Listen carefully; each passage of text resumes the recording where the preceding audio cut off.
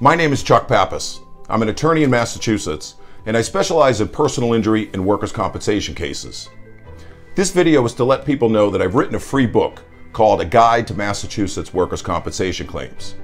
The reason I wrote this book is to provide injured workers with free information about workers' compensation, so you don't have to rely on what the insurance companies are telling you or go through this process alone and uninformed. Now, I've represented and helped many injured workers, so I understand that after suffering serious injuries on the job, it can be a very stressful situation. You're not only dealing with your injuries and pain, but you're probably concerned about medical bills and worried about not being able to get back to work to earn the wages that you need to support yourself and your family. This book covers the basics of workers' compensation, including weekly disability benefits, how to calculate them, and how long they may be available to you.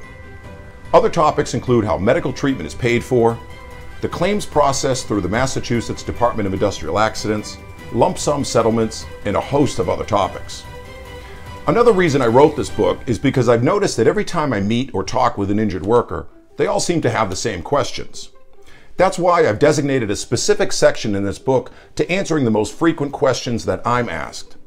This should put you in a good starting position to understanding workers' compensation in Massachusetts, the benefits that may be available to you, and what you can expect and anticipate after being hurt at work.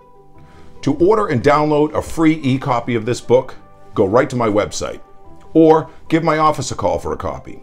If after receiving and reviewing this book, you have any questions or you'd like to personally speak with me, just pick up the phone. I'm always happy to help. I look forward to hearing from you and, of course, helping if you need my services.